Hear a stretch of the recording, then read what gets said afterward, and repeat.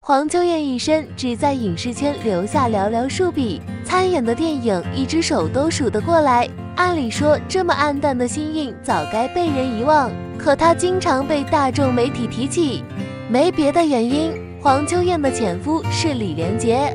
二零一五年，《少林小子》剧组重聚，所有工作人员聚在一起吃饭玩乐，回忆过往。这时，有人高声提议：“来来来，大家这么多年没见了，不如我们拍个照片，也留个念想。”提议一出，众人纷纷附和。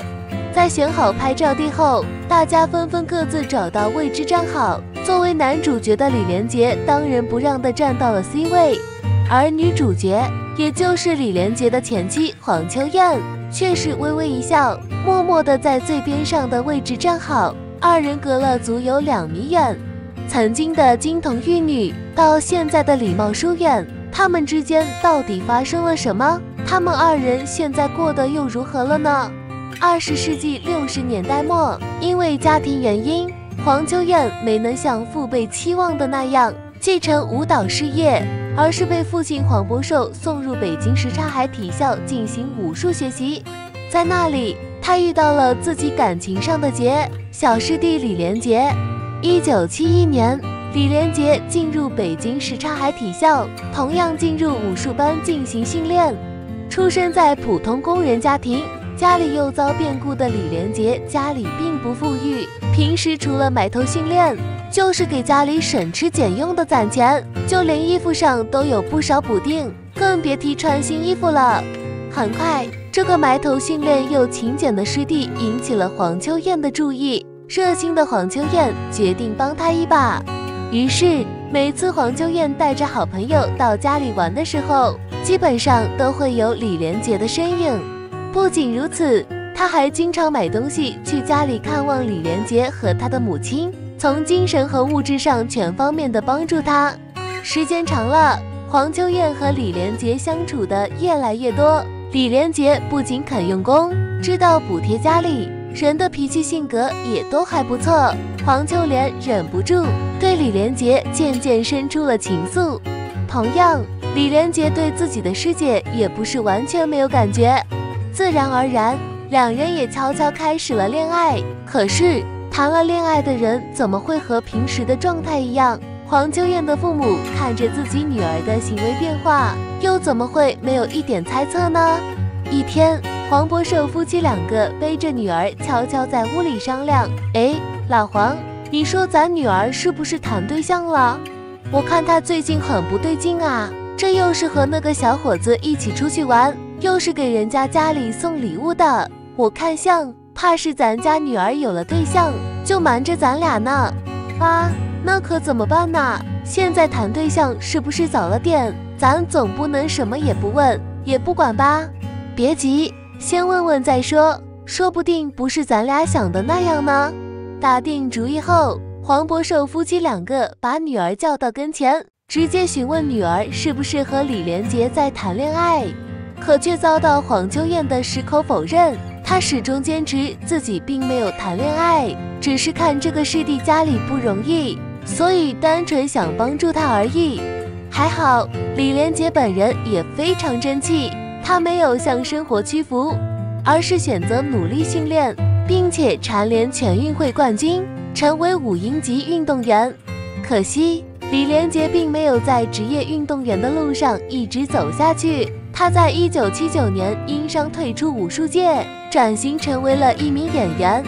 得知消息，曾经看过李连杰比赛的导演张欣妍向他抛出橄榄枝，邀请他拍摄电影《少林寺》。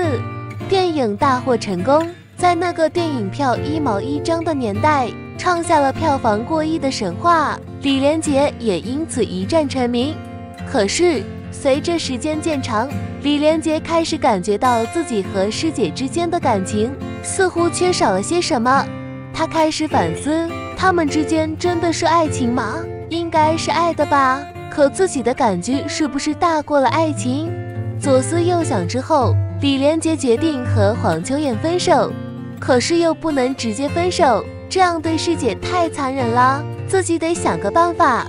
而且刚刚出名就抛弃女友的消息一旦传出，对他的星途也是不利的。他决定把师姐也带入影视行业，捧成当红明星，情感事业总得让师姐得到一样。一九八二年，张欣妍打算拍摄《少林小子》，可始终找不到合适的女主角。得知消息，李连杰就推荐了黄秋燕和她一起出演，并且在之后又和黄秋燕合作演出了《南北少林》，拿下了不错的成绩。终于，黄秋燕也开始进入著名动作影星的行列。可到最后，李连杰却没能如愿分手。和黄秋燕的关系反而更近了一步，这是怎么回事呢？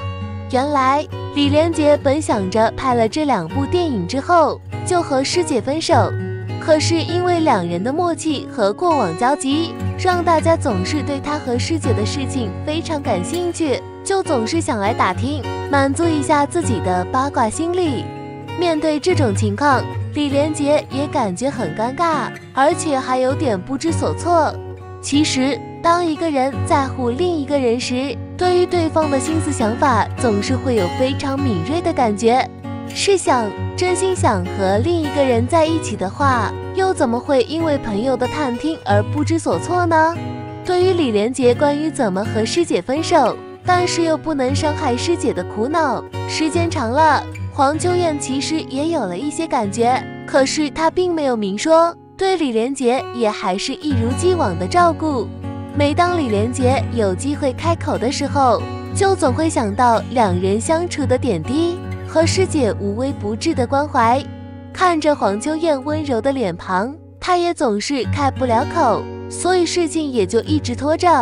到了后来，李连杰看到师姐一直对自己默默的付出，心里也不是不感动，而且。他也没有遇到那个让自己为之疯狂心动的人，千岁别分手了，结婚吧！李连杰如是想到。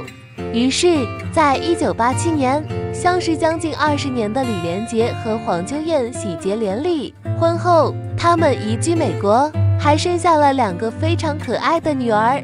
如果能一直这样走下去，二人倒也算是成就了一段佳话。只可惜，事与愿违。他们的婚姻只维持了三年，在一九九零年画上了句号。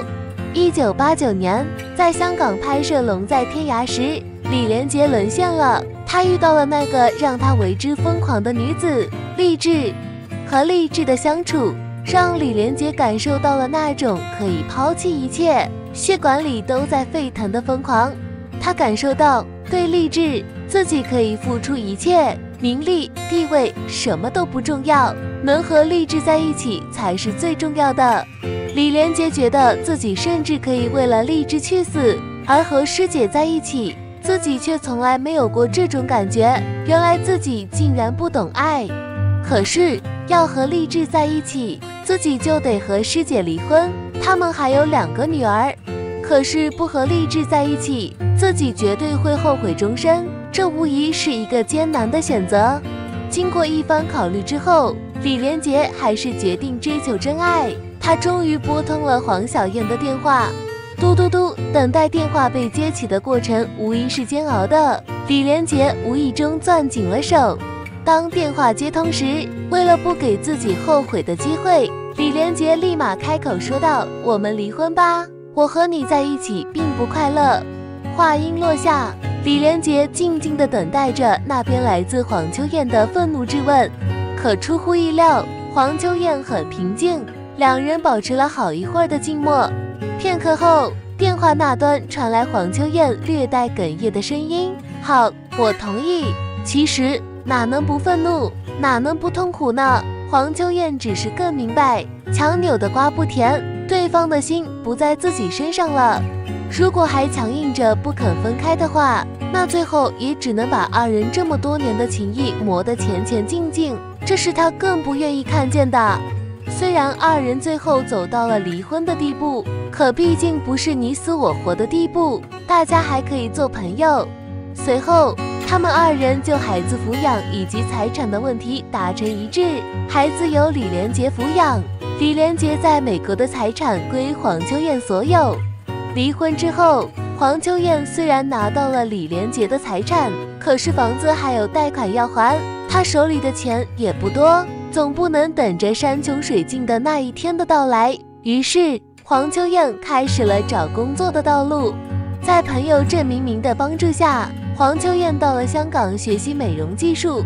学成之后，黄秋燕到了郑明明的美容院里当了一个普通的美容师，这一做就是十年。因为她的敬业，再加上不错的手艺，也积累了不错的口碑。后来，他转行在三藩市开了一家属于自己的理发店，日子过得也算安稳。虽然说不上大富大贵，但也可以说是小富即安。黄秋燕对自己的生活也已经知足。在这段奋斗的日子里，黄秋燕也遇到了自己的第二段感情，对方姓王。就在他的理发店隔壁开着一家餐馆。黄秋燕平时工作忙起来，也顾不上自己做饭，就经常去他的店里吃饭。这样两人成了朋友，平时倒也能聊上两句。后来王先生与妻子离婚，财产全部留给前妻。离婚后，王先生开始追求黄秋燕，可因为之前的经历，黄秋燕对于感情变得更加小心翼翼。他并没有直接答应王先生的追求，直到后来发生的一件事打动了黄秋燕。原来王先生的前妻不幸患上了癌症，不久于人世。深思熟虑之后，王先生决定回到前妻身边照料她，陪她走过了最后一程。这件事情让黄秋燕觉得王先生是个有情有义的人，于是决定答应和他在一起。